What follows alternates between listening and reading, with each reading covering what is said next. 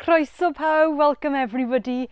And today I am going to talk to you about what I'm up to in the garden the end of January. So I'm Selina Walker, I'm a naturopath, nutritionist and herbalist and croeso i Ysbryd y Coed. Welcome to Ysbryd y Coed, my home.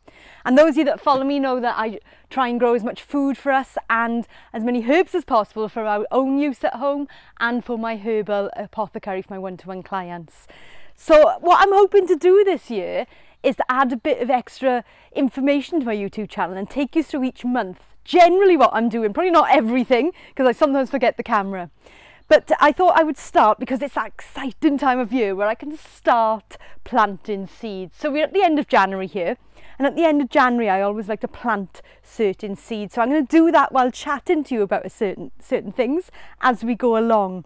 So lots of things I'm planting today, I will actually be planting in these trays with a lid on and then taking it out to my house to have in front of the wood burner to have some heat and it will get indirect sunlight but it should be fine.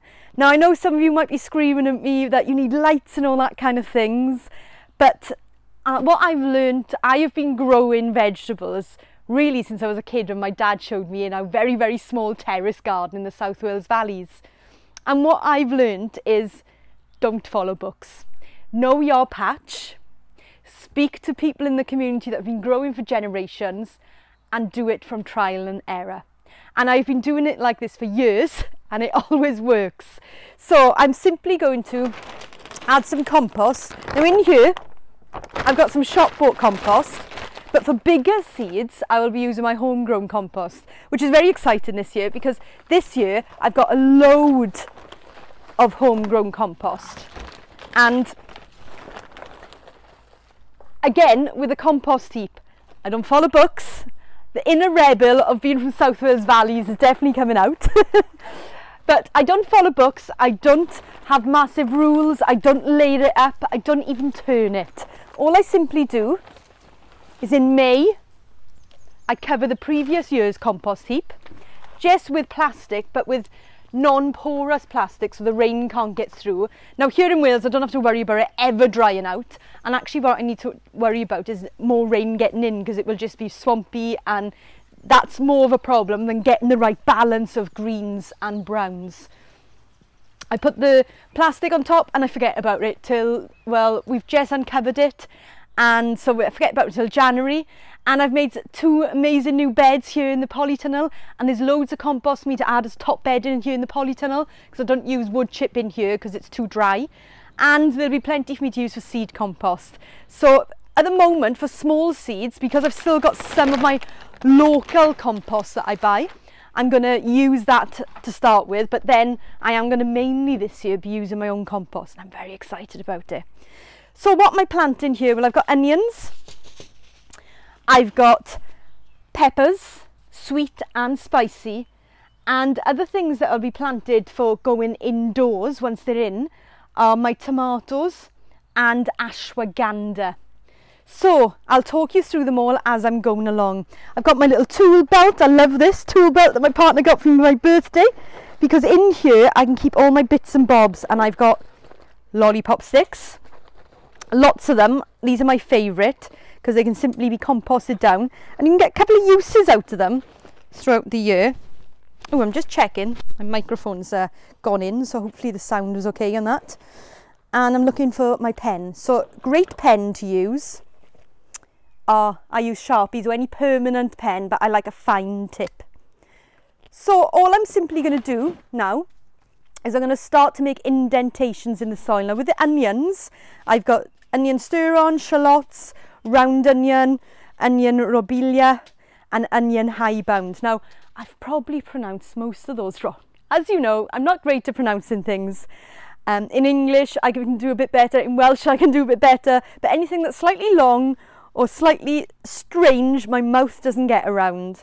So because onions need a long season, I prefer growing them from seed because I just love growing from seed.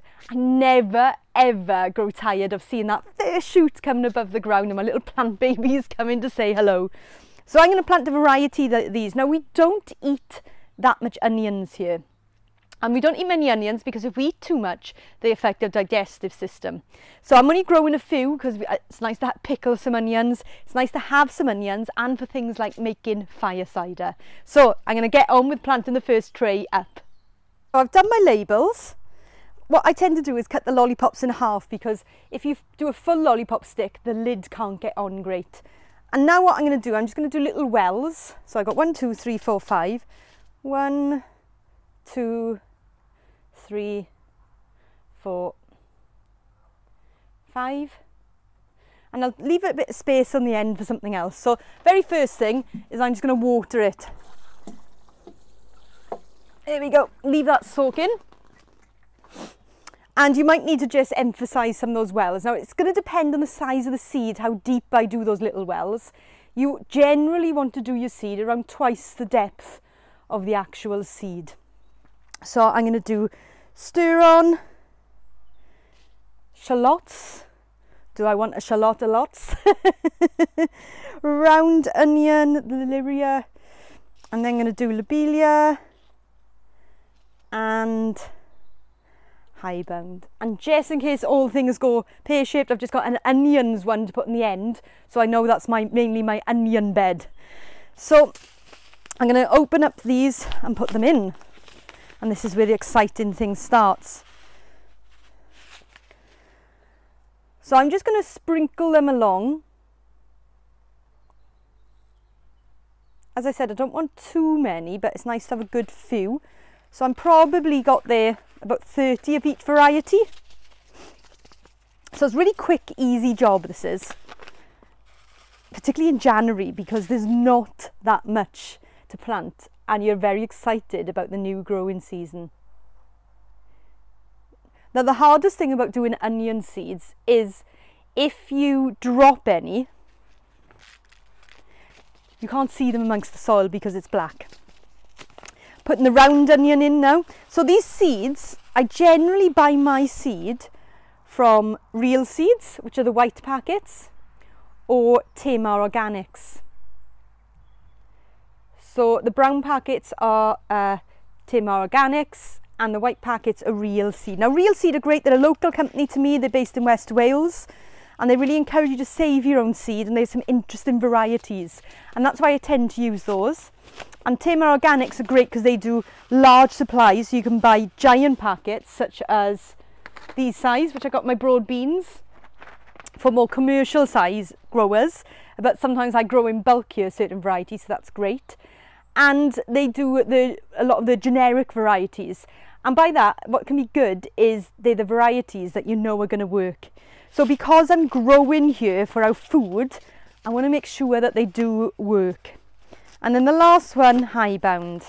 now I generally don't save my onion seed it's just not when I got round the one year I did but that was by accident and I didn't save it because I didn't isolate it and it might have crossed with some other allium families that I had going on in the garden.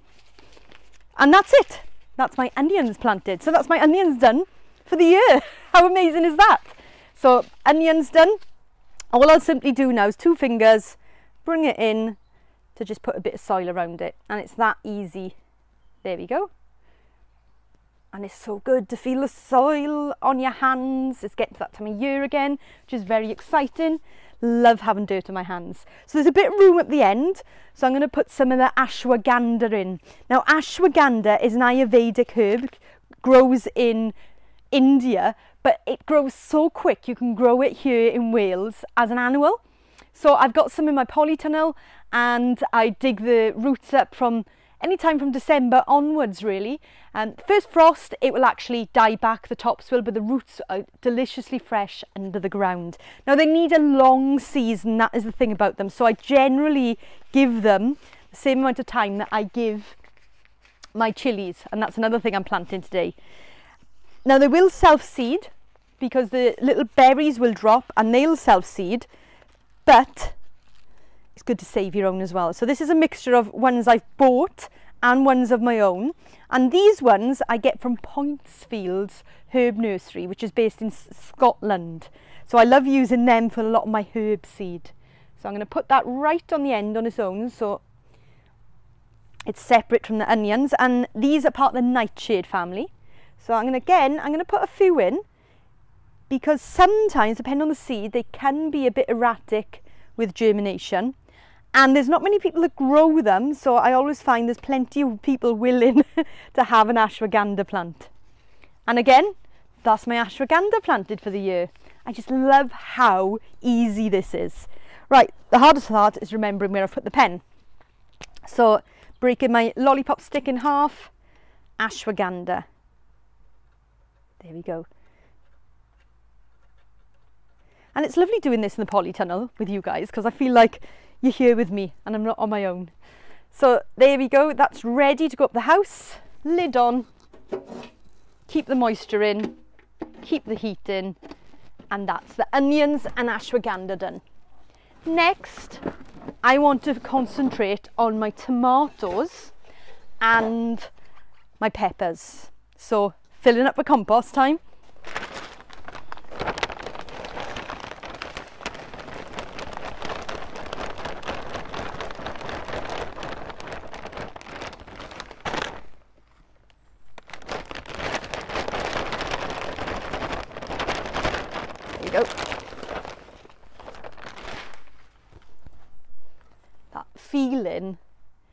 never grows tiring. okay, so now for my peppers, I've got sweet and I'm mainly growing this year early jalapenos. And I've got two varieties of peppers, sweet peppers. I've got De Asti Rosso, which I grew last year and was really successful, and California Wonder.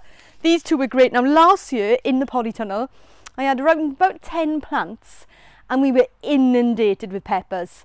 They were so abundant and it wasn't actually a, a massively great summer, but it was just an ideal growing environment in here and the, the skin's still relatively clean, although it is on the list of things to do this year to clean it. So there's plenty of light in here, even on the darker days, and it keeps the heat in. We were practically having peppers every day right up until the end of September. In fact, my partner was saying, is pepper season over yet? He had a complete guts full of them. I am going to get one more variety of pepper. Let me just pour some water on there, moisten the soil, because I want to try and get variety that's about as spicy as jalapeno, but thinner and longer so it'll dry quicker because I like to dry my peppers for long storage and the jalapenos take a long time to dry. One, two, three, four, five.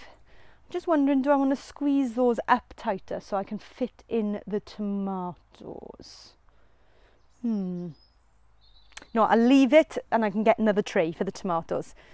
Yeah, so if you know of a pepper plant, a hot pepper plant, around the same spice level as jalapeno, that's um, thin-skinned, long, so it would be easy to dry, then I'd love for you to let me know in the comments so I can plant that and it will easily dry out. Now the early jalapeno I find is absolutely brilliant because of that key title, early. Really gets the jalapenos going early, clue in the title, So it means that I've got a longer season of chili peppers. And I'm planting now because they do need a long season. So as I said, what I'll be doing with these is these will be going next my wood burner. Once they have germinated, I won't let them go too leggy in the house. I'll then pot them on and they'll go on the windowsills in the house. Then, once they're big enough to be off the windowsills, they will come down here and they go in the cloches in the polytunnel. And on cold nights, they have fleece over them. And then when they've outgrown the cloches, they go into the beds. So you can see it's quite a long process before they're into the beds. And that's why I can afford to plant them really early because I'm not too bothered about frosts because I have a plan. so there we go. In fact, I might fit the tomatoes in here because I mistook that for more peppers, but they're all, they're all the same variety. Let's have a look how many tomatoes I've got.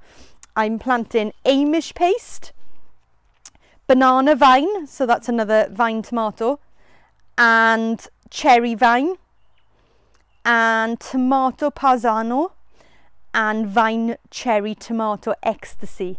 So I've got one, two, three, four, five. Am I going to fit five in there? Let's give it a go, is it? Let's give it a go. One, flatten those out. Two, three, four. Ah, I reckon I can do it. Yes, I'm going to do it. I'm going to do it. So let's start up here. One. There we go. That, that will fit in. That will fit in. So let's get these in. So I got jalapeno peppers here. I'm going to put a few from each packet. Now I'm aiming, let's think, I'm aiming to get out of the sweet peppers. I'm going to want to plant at least 10. So I'm probably going to plant 15 seeds in just to double check because I hate it when you, you've got really one chance with these seeds because they take so long and they don't all germinate. And then you have the other issue is they all germinate and then I'm, I don't want to not allow them to live out their destiny and I'm looking for homes for them then, but there's always someone that wants them. So I think what I'll do, because with the jalapenos, I'm probably going to put, I usually put five in a row and I've got two rows there of the chili peppers. So I'm probably going to want about eight of these. So I'm going to put in 14 seeds. Two, three, five, six, seven, eight. But I'm going to do some from different packets just to help with germination. And there's another packet here, another company that I use is Vital Seeds. So that's another company that is really good for organic seed. I think that's it in that packet. Oh, no. So I've got one, two, three, four, five, six, seven, eight, nine, ten, eleven, twelve. There we go because also I'm going to be getting another variety so I want to make sure I've got room for those so that's those done. The sweet peppers now next. Again I'm going to be aiming to get about 10 plants out. And I've got two varieties here. So I'm going to put 14 of each and then we'll see what happens. Now I do find with these they take a long time to germinate. One two three four five six seven, eight, nine, 10, 11, 12, 13, 14. And why I'm saying that is because sometimes I'm like, oh, they're not going to germinate. But I sometimes find if you haven't given them quite enough heat, they won't germinate. So I usually put them somewhere warmer. But I figured out that the best place is right next to my wood burner. And just make sure that I water them plenty because obviously it's very warm there. So the California uh, wonder goes in. I went to California poppies then. One, two, three, four, five, six, seven, eight, nine, eleven, twelve, thirteen. Oh, that's it to that packet. Don't get as many with those ones. so let me pop that in there because I know that is empty. Brilliant. So that's the peppers done. So now I want to get some labels for the tomatoes. So we've got the Amish, uh, that's the garden next the sea, which are cherry tomatoes, the Irish cherry vine tomatoes, and then the others are all larger tomatoes because my main reason for growing tomatoes is to be self-sufficient in tin tomatoes so I can a load of them and also make salsa which is delicious uh, with pasta sauces and a nice easy meal. So I've got the gardener's delight Irish, Irish Gardener's Delight. Now, a couple of years ago, I grew a couple of different varieties of cherry tomatoes. And naughty me didn't keep replacing the labels, so I lost track of which is which. And there was one absolutely delicious cherry tomato, and it's between these two. So this year, I'm going to make sure my labels are good all year so I can figure out which one it is because I generally save my tomato seed. That is why that's what I saved last year, my Amish paste. Now this year I'm experimenting with different plum tomatoes just so I can figure out which ones are the best for abundance really. So I grow three beds of tomatoes. Cherry tomatoes I generally grow for salads But this year I've extended in the polytunnel, so I'm quite tempted to go three beds of plum tomatoes, seven in a row. I do three rows in each one, so that's 21 per bed. So that's 21, 42, 63 plants of these. So if I do 21 of each, then that's a good plan. But again, I won't just be planting 21. I'll probably plant 26 and see what happens. Amish paste. Amish paste is what I've been growing the last couple of years and it is a brilliant tomato. Absolutely brilliant. But it does sometimes get hard tops and sometimes can get uh, rot at the bottom. So I want to experiment with different ones to see how they are. So what one is this? This is the banana vine. And then the last one I'm experimenting with here is the Pozzano. So if, if you guys have experimented with any of these, please let me know how you've got on because it's always good to hear someone else's experience. But as I always say, don't go just go on other people's experience. Try things out yourself because everything is different, including your soil, where you are, and your situation. So we've got Irish Gardener's. I have a feeling this is the one from the description. I think this is the one, but I shall soon find out and let you all know. So because these are just for salads and for the joy of eating in the summer, oh, the taste when you get a fresh cherry tomato that's warm because it's so hot in here and you pop it in your mouth. It's like sweeties. Who needs sweeties when you've got cherry tomatoes growing in the polytunnel? And last year, I think I grew three, six, I think I grew nine cherry tomatoes and it was probably a bit too much. So I'm going to plant six of each of these because that will then, will then be 12. So that means I will definitely get nine. Do I want to do that amount? I'm going to do five of each, five of each. There we go. So the Irish, one, two, three, for five but because I definitely want five I'm going to do another two for luck. Are you like me let me know in the comments when you were planting. Another two for luck and then you end up with a load more than what you actually needed. Ooh, dropped one then. There we go that's the Irish Gardener's Delight. The ecstasy ones. I mean, they sound pretty good as well, and I think they were described as even better than the Gardener's Delight, so I might be sold on these ones. But who knows? I might like them both, and I can always grow them both.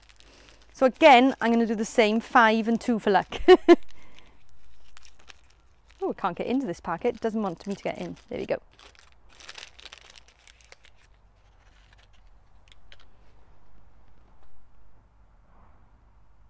One, two, three, four, five, one. There we go. Now the main thing when you're planting in trays like this is when you're watering, don't overwater because what can happen is the seeds can fly downhill and then you don't know what you're getting because they're not by the labels. And now we come on to the last load that need to go up to the house and that is my tomatoes. So I've got my Amish paste and I said I was going for 21 of each variety so I'm going to plant 25. So these are going to be quite tightly planted but it doesn't matter because they're only going to be in here until the first leaves form so until they're about this big so they're not going to be overcrowded for too long. Now these are my own home saved ones. So it's always lovely when you do your own home ones. One, two, three. They're a bit, not sticky, but stuck together because the way I save them on the kitchen towel. They sometimes are hard to separate then. One, two, three, four, which is a clump, five, seven, eight, nine, ten. 11, 12, 13, 14, 15, 16, 17, 18, 19, put some down the bottom, 20, 21, 22, 23, 24, 25. I mean, I'm not too bothered about the clumps because as you can see, I have an abundance of them. It's the Amish paste. And then what's next? The banana vine. So these are a new variety that I'm trying out. And it says on these to help avoid blight and shelter foliage from rain. So that's why I like planting these in the polytunnel. And they're an incredibly productive plum type, making loads of large orange fruit. So it'd be nice to have a different colour going on as well. I'm not sure how many seeds are actually in these packets, so it might depend how many's in there. On might have to adjust varieties. So let's have a look. One, two, three, four, five, six, seven. Pop that on there. 8, 9, 10, 11, 12, 13, 14, 15, 16, 17, 18, 19, 20, 21, 22. So there's 22 in there. It's almost like I planned it, isn't it? Maybe I did. Maybe I'm actually sat there and planned this all out when I done my order. And then we've got the last one, which is Pozzano, and there's 25 in here. So I'm just going to plant the whole packet. There we go. And we shall see how this year's tomato season goes then. It's very exciting. In fact, we're still eating last year's tomatoes in our stored canned tomatoes. So we'll see how far we get. I'm aiming one year to get get up to the point where I'm harvesting fresh because in the summer we use fresh in all our sauces and then I start once once they're productive I then start canning them so I think this year, I think, I'm not sure, I mean, there might even be a video about it, so you might know better than me, but I think I've done four, no, 50, sorry, jars and a, a few couple of jars of salsa.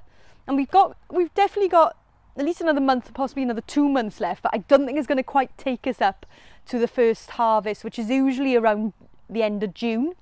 So yeah, that's why I'm doing an extra bed this year. So two fingers, night night to the seeds, no star as we say here in Wales. Sleep well, see you soon. And then it's the exciting waiting then for them to come up and say hello. And I don't know if you were like me, let me know in the comments whether I'm the only mad one that squeals with excitement even after years of growing when they do appear.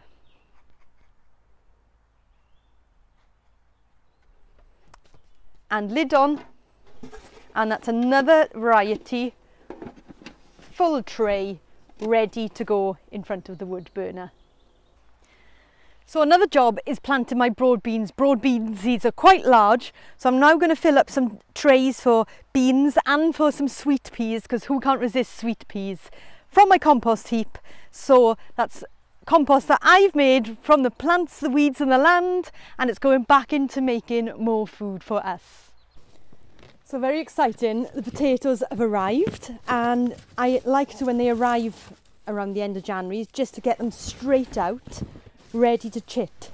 Which is a funny word, isn't it? But basically what it means, it means I can expose them to sunlight so they start to grow their shoots. And then I will be planting some of these actually there in a bed in the polytunnel and then some outside. They worked really well in the polytunnel last year So I'm definitely doing that again. So these have come from uh, Talma Organics.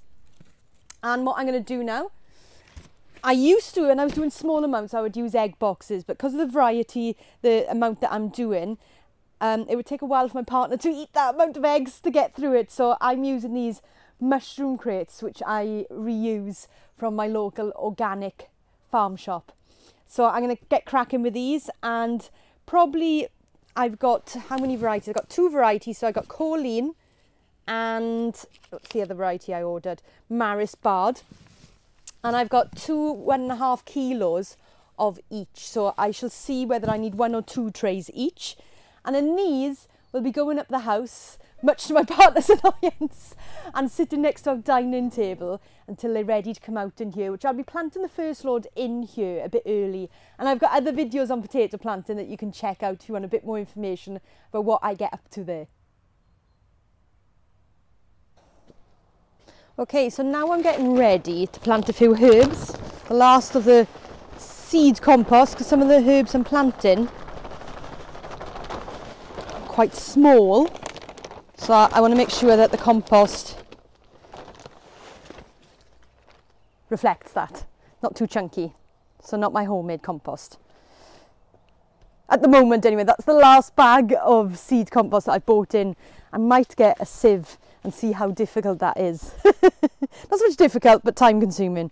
Okay, so I've got echinacea, I've got sweet cicely, and I've got monkshood. Now, monkshood, um, a wolfsbane or uh, aconite napalias, depending on what you want to say, know me with the Latin names. I know this as wolfsbane.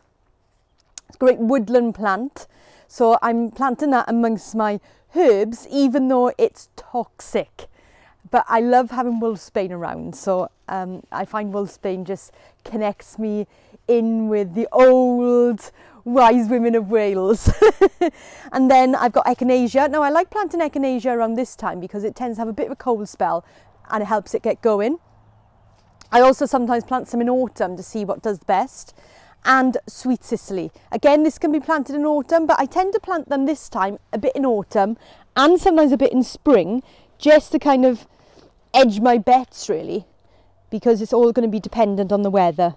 Okay, so I need three sticks and then we can get started. Brilliant. And there's one there. So first up, I think it has to be wolfsbane. Now, obviously, I'm really good at the, uh, well, not blowing my own trumpet, but I know how to identify them. So there's no way I'm going to get these muddled up. If you're unsure about identification and you're planting toxic plants, then it's best to plant them on their own. There we go. So my three are ready. So let's start with echinacea in the middle. I got these from Tamar Organics, as you can see. And the seed is medium size. So just going to pop it down there.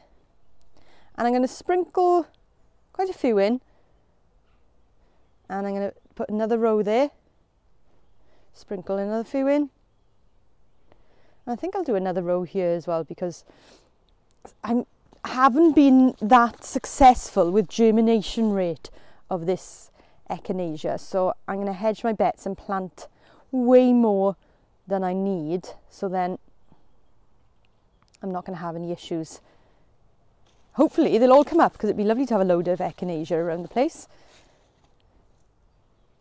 Now it doesn't matter that they're quite tightly packed because this is just a seed tray. So as soon as they come up, I will then make sure that they are potted on quite quickly. Bit of water to water them in.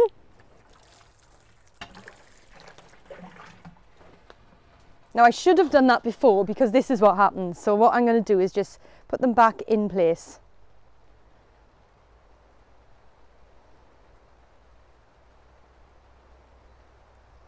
So they're in that space. and then I'm going to add some compost on top. But the rest of it is now nice and watered so I don't have to do that. There we go. Bit of compost on top solves it.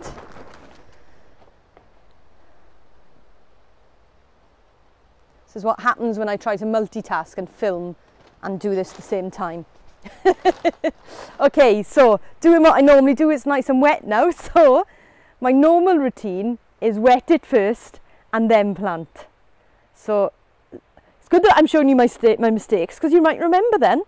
So let's go for the sweet cicely next. So I'm just doing one row of sweet cicely and one row of wolfsbane. Now the sweet cicely seed is quite large, as you can see. They're like pods with seeds in. So I'm just going to lay those in the little trench I've created that's wet after my bit of echinacea disaster. But you know, it's good to see things that are real, isn't it? So many things these days on YouTube and Instagram aren't real, and I just keep in my mistakes. I'm sure you've seen that before. You've seen, if you've watched my videos before, you might even come across the video where I was working a mugwort uh, stick and I had a worm inside it and I had to undo it all, but I kept it in the video. There we go. Because I think it's good to keep things real. We all make mistakes and we're not all perfect because that's part of the human experience. And now we've got the monkshood. So I got these from Nicky's nursery.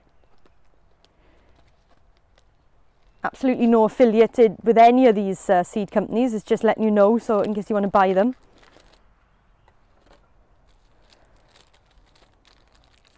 and you can see these, you might be able to see in there, are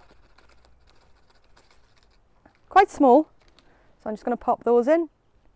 And then if you're, if you're a bit apprehensive because the seeds are toxic, you can use these bags that come with it and just tap it along.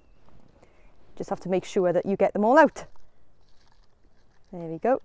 And if any get outside of the trench and you're worried about contamination with others, if you're not sure of identification, as I said, you're best planting these guys on their own. And that's the herbs planted.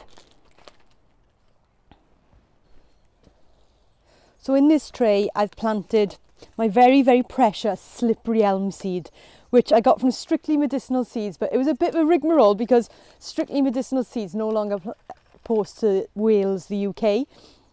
So I had to get a friend to get them posted to Ireland, and then I had to get my friend to post them on to me. Uh, and then I've planted some sweet peas because who doesn't love sweet peas? So the slippery elm, I would absolutely love to get some slippery elm trees here, and it's really difficult to get hold of slippery elm, and also because of elm disease, you have to make sure that you keep them below a certain height because I think it's around eight meters they start to get Um, they start to, eh, or maybe eight foot. I probably remember that wrong. Eight meters is quite tall, isn't it? But you need to pollard them anyway to keep them quite low, uh, and that can help stop them getting elm disease. Now, the native witch elm I have also planted here because witch elm is more of the native variety, and there's old records of them using witch elm in the very similar way to slippery elm. But I wanted to get slippery elm because it may be um, slippery elm deals with different climates better.